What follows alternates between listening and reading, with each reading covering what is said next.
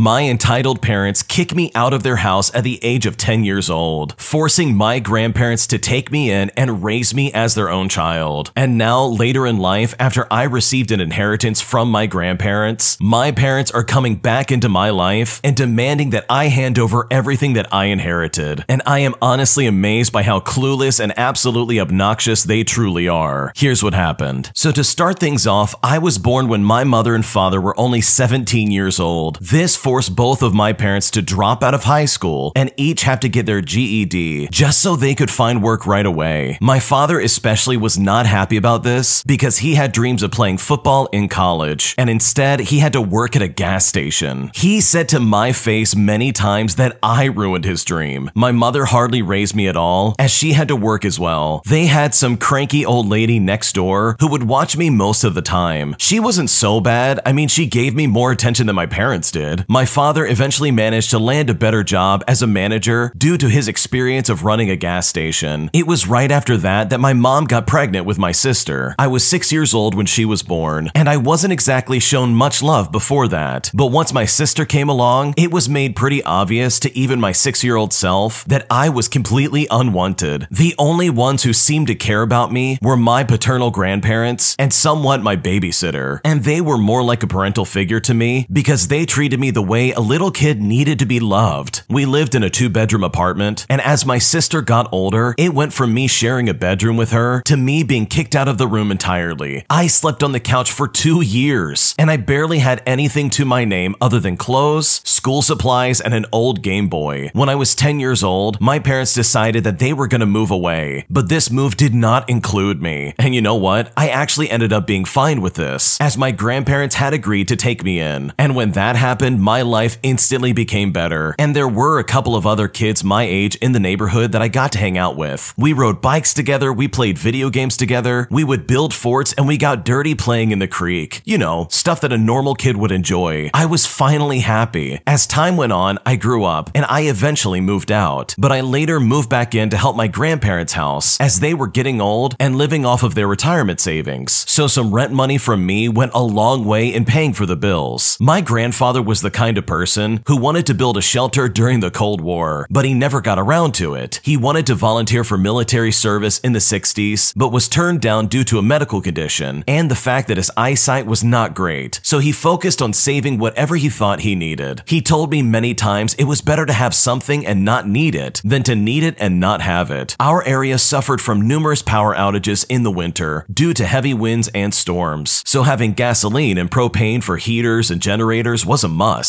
All of these saving habits became my own as time went on, because it was better to need this stuff rarely than to not have it at all. Fast forward and about five years back, my grandma passed away suddenly, and my grandfather was heartbroken, with him also going about a year and a half later. Pretty much everything they owned was willed to me their savings, their house, their vehicles, their stuff, everything. The house was long paid off, and my grandfather knew how to keep up with maintenance. In fact, after my grandmother passed away, he kind of doubled down on renovating the place. He had the roof redone, the house was repainted by us inside and out, and we fixed a lot of things. My grandfather's neighbor even came by to help redo the plumbing. Ironically enough, the HOA was rather happy with these changes because the house itself didn't look run down anymore. I mean, it all happened so suddenly. One morning, I was just fixing breakfast and my grandfather never came downstairs. You couldn't keep this man from bacon even if you tried. So I went to check on him and he wasn't moving. I called the paramedics and they told me that he passed away in his sleep. And this is right about when my parents came into the picture again. My parents made my grandfather's funeral an absolute nightmare. In fact, they didn't even bother to show up for my grandmother's funeral. They claimed that they were too busy. At my grandfather's funeral, they didn't seem to grieve at all. My sister also showed up wearing a brightly colored designer dress. I noticed my parents repeatedly whispering to each other and glaring at me whenever I looked at them. I come to find out at the will reading that my parents knew that they'd been disinherited a long time ago, all because of the way they treated me. And they thought it was extremely unfair that I got everything. In fact, they thought it was so unfair that they threatened to sue me to contest the will. I got repeated calls and messages from my father, as well as my mother and my sister, all of which telling me I needed to do the right thing and give my father what was supposed to be his. And when they did that, I just told them to get lost. Eventually, my parents ended up taking me to court to challenge the will. Will, but the judge ruled in my favor after seeing the will and hearing us both out. So it wasn't a long drawn out legal battle, thankfully. The judge even looked at my parents with absolute disgust after seeing the will and hearing about the mistreatment of me in my childhood. He called my father a terrible parent and stating that my grandparents were right to disown him. My father just hung his head in silence, but he made sure to stop me outside the courtroom and tell me that I was the biggest mistake in his life. And if he could go back in time, he would make sure I never existed, while also saying that he should have been a football star. And instead, he has to wear a name tag from 9 to 5. I told him that mistake or not, my grandmother and grandfather could see what kind of nasty person he was. I also did not ask to be born, and the only real love I ever got was from my grandparents. So I just told him straight up that he was no father of mine. I got a few more phone calls, as well as some letters from my parents, all demanding money among other things. But over time, they just stopped because I completely stonewalled them. I never responded to emails or letters, and I stayed silent during the phone calls. A few times, I just left the phone sitting on the counter with them ranting and raving until they realized I wasn't listening. Aside from not getting the house or money, my parents seemed particularly bothered that they couldn't get a rise out of me. But I was prepared to go all out against them, and they knew it. So in the end, they just left me alone. From what I know, looking back at Facebook for the past decade, my sister tried to get into modeling,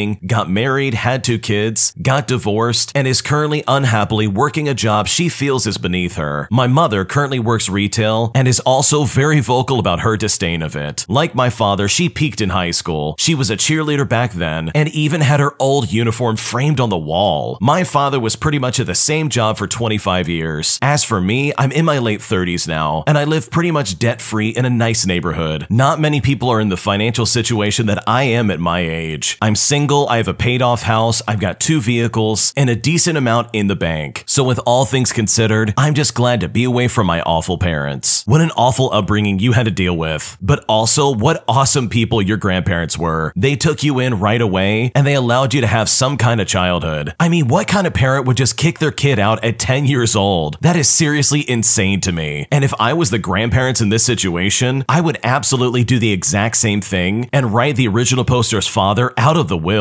There's no way they're gonna get anything from me if this is the way that they treat their son. And it's so delusional that this guy's like, oh, I should have been a football star. No, you should have been a better father. Because in the end, these people got exactly what they deserve. Because the original poster honestly deserved a better childhood. And these parents seriously should be ashamed of themselves. If you like Am I the Jerk, you're probably going to love Am I the Genius. Check it out, link down below in the description. I think that my boyfriend doesn't find me attractive anymore ever since he got his dream body, and I seriously don't know what to do. So my boyfriend was a scrawny teenager when we first started dating, and girls really didn't go for him either. He got sick of being skinny and he wanted to get big. So I motivated him into being consistent with the workouts and the diet changes that he went through. I was there for him and supported him emotionally when he was making cuts and making progress. And you know what? It paid off. He got really fit. Eventually, girls started throwing themselves at him. He curved all of them at first,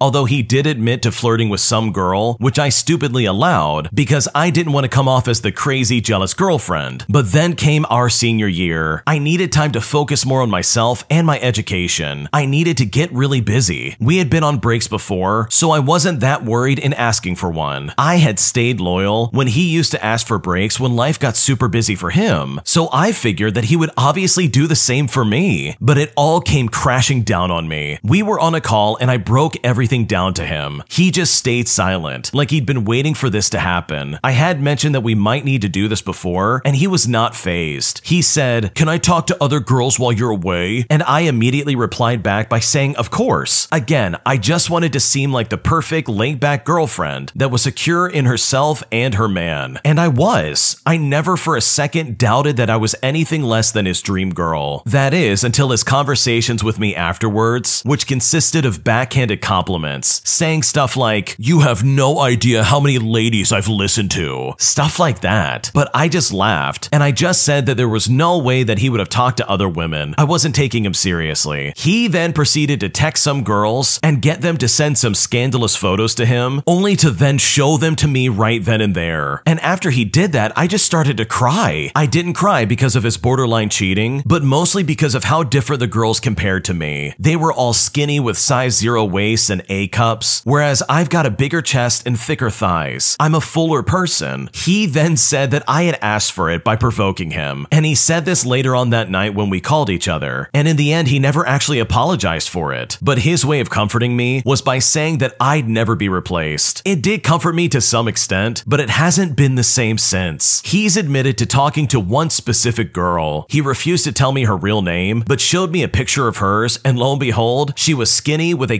conventionally attractive face. But no, it was okay, because this chick knows that he's taken, right? He decided to rub salt in the wound even further by mentioning how I couldn't fathom how pretty her body was and how he wouldn't share. I'm realizing just how sick it was right now, even though according to him, he stopped what they had soon after. He doesn't really respond to me properly anymore. He uses very short and aggressive replies, and then turns it around and blames me when I mention how we never talk much these days. I know this is supposed to be a break, but it's a break on my end. So why is he the one acting unavailable all of a sudden? He was never like this when he was skinny. We used to go on breaks when life got hectic, but we would always technically be together. We would be loyal to one another. He says he loves me, but that's about it. He never shows it to me anymore and doesn't care when I send him photos anymore in the slightest. He used to go crazy for them, but now it's almost like it's nothing. The one thing I took pride in for us was our ability to communicate. Should I swallow my pride and ask him what's up? Even if it might break my heart, we've been together for three years now, and I don't want to make it all just go down the drain. What should I do? Honestly, I am very surprised that you're even with this guy anymore. He clearly does not value you in the first place, and he's obviously got his eyes set on other women in the area. And I just don't think this is a good relationship for you in the slightest. You are letting so many things slide. He showed you inappropriate photos of other women, and he basically has another woman on check to basically step in and take your place at any point. And that's not fair for you in the slightest. Like, seriously, he is cheating on you. There's nothing borderline about this. And he's also blaming anything negative in this relationship on you. Like, in a way, he kind of sounds like a narcissist. So, seriously, in my opinion, you can do so much better than this guy. You are both only 18 years old, and you'll find somebody who really does care about you and you only. Because the way he's acting is completely out of line, and you could do so much better. My sister says I can't be at her wedding if I bring my boyfriend, who I have known for several years at this point, and I'm so upset I seriously don't know what to do. So I met my boyfriend in college seven years ago, and we started dating five years ago. He is super close and loving with my family. He was there for my niece's births, baptisms, Christmases, vacations, you name it. We are extremely committed to each other for the long run, but don't want to get married until we are financially stable and both of our careers are where we want to be. My sister has been with her fiance for two years and engaged for six months. My sister's the type of girl who has dreamed of getting married since she was a little girl. It did not matter who proposed, she just wanted to be married. I have never cared if I ever got married or not. As long as I have a good career and a good relationship, I'm fine. In the beginning of her relationship, she tricked me into going on a double date with her fiance, as well as her brother. She had said it was dinner with her and a friend, but it was most definitely not. The brother kept making passes at me the entire time, and I told him I had a boyfriend, and the whole situation made me uncomfortable. At their engagement party, my boyfriend noticed that the brother wouldn't stop staring at me, and we tried our best to avoid him altogether. Every time I have seen this guy, he has been super weird towards me. My sister wanted me, my fraternal twin, and two brothers in her wedding. The wedding is supposed to be next month in the beginning of May. My sister just told me that I'm going to be walking down the aisle with her fiance's brother. I told her that he makes me unbelievably uncomfortable, and I thought I would be walking with my own brother. But apparently, this is something her fiance is insisting, and she just wants to make him happy. It seems like a pretty weird thing to insist, and I know that it's just some kind of scheme between the two brothers. My other siblings also thought it was weird and voiced their objections to our sister. She got upset and said this is her wedding, and she'll do whatever she wants.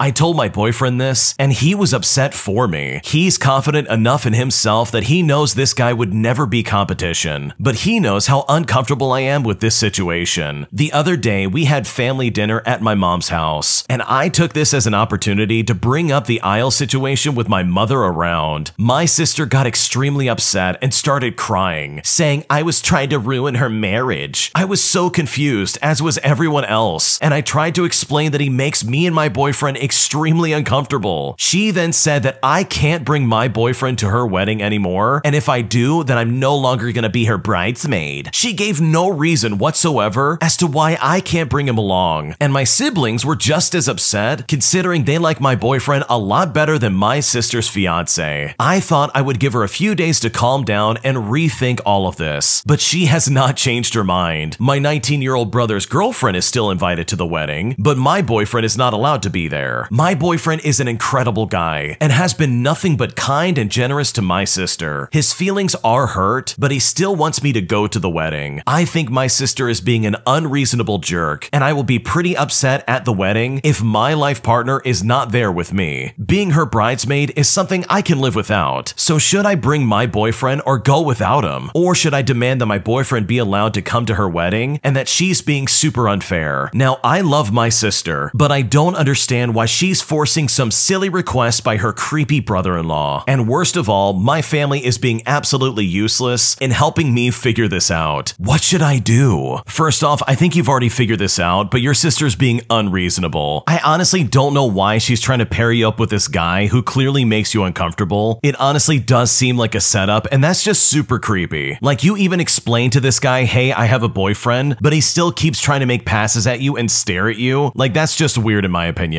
You're never gonna hook up with him and he needs to stop. So that alone, in my opinion, is more than enough reason to say, hey, you know what? I think I'm gonna back out. This guy is creepy, I don't wanna be around him, and I will happily sit in the audience and watch you get married. And you know what? She's only saying that your boyfriend can't come along because you exposed her to your mom as well as the rest of your siblings. And although they're being very nonchalant about this, you can bet that they're probably on your side. They like your boyfriend, they like your future partner, and they also don't understand why he's not allowed to come to the wedding. Like, that's just weird. So I think with whatever goes on or whatever you decide to do, I think you just need to remember how your sister's acting right now because her behavior is incredibly toxic, and you do not deserve this in the slightest. A friend of a friend made it very clear that he wants to pursue my girlfriend, and all the while, my girlfriend knew about this guy's intentions but kept that information from me. And now, as a result, I'm incredibly offended, and I seriously wish she had just told me in the first place before I committed to spend any kind of time with this guy or her friends. Here's what happened. So, for a bit of backstory, my girlfriend attended a bachelorette party a month ago. One of the bridesmaids was dropped off by her husband and a friend of the husband. In the five minutes that that friend saw my girlfriend, he supposedly fell in love with her at first sight and made it clear to his friends and the bride that he was interested, despite the bride telling him that my girlfriend was in a happy relationship. The bride shares this in confidence with my girlfriend, asking her to keep it a secret, as it is just silly gossip. Fast forward a month, and it's Friday, and I'm at a dinner of the wedding rehearsal. My girlfriend and I sit at a small table, and this friend of the husband intentionally sits across from me, all while his friends sit at an entirely different table. We make conversation and have a really good time, and upon leaving, he mentions that we should all hang out together at the wedding as well. Saturday comes around, and at the wedding, that friend is pre-seated at an entirely different table, so we don't interact much. As they leave, however, the bridesmaid, her husband, and the friend of the husband all approach us and enthusiastically mention that we should all hang out outside of the wedding more, which kind of strikes me as odd, considering we didn't really engage much. But in the end, I agree nonetheless. At night, I bring this up to my girlfriend, and I can't quite wrap my head around it. But that's right about when she lets out the secret. We've been discussing this ever since, and I feel like I deserve to know when he started approaching us on Friday, whereas my girlfriend insists that she didn't tell me because she felt our relationship was strong and there was nothing to be worried about. And also, she didn't want to make me angry or make things awkward. My girlfriend states that if he made any obvious moves, like asking for her number or anything like that, then she would have shut him down and let him know right then and there. I personally would have never wanted to be in the dark about this. It just makes me feel like a complete idiot while I invite this guy to hang out with us and wingman him into my relationship. As close partners, I feel like I should be included in details like this. I don't care if some random person on the street hits on my girlfriend, but if it's someone who's potentially close or a coworker or something like that, then that's an entirely different story. Also, I would have wanted my girlfriend to have relayed a message to the bride or bridesmaid that she wasn't interested at all after the events on Friday. Is this something reasonable to expect, or am I just being controlling? What should I do? In my opinion, opinion, your girlfriend absolutely should have told you about that. This weirdo is repeatedly and intentionally inserting himself in situations where he can further his goal of getting closer to your girlfriend. This situation, in my opinion, is a snake in the grass trying to break up your relationship. And I mean, honestly, even if your girlfriend is used to a lot of male attention or anything like that, the day that he sat across from you to try and befriend you, she should have let you know what was going on and why he was acting the way he was. So no, in my opinion, you are not being unreasonable. And I think the fact that you're in a relationship and your girlfriend decided to keep this information from you is, in my opinion, pretty sketchy. And it's something that the both of you really do need to talk about. Thanks for watching. When you subscribe, make sure to hit the bell to turn on notifications so you never miss a video. To finish listening to all the stories, use the playlist at the top of the description. And if you like Am I the Jerk, you're probably going to love Am I the Genius. Check it out in the description below and subscribe.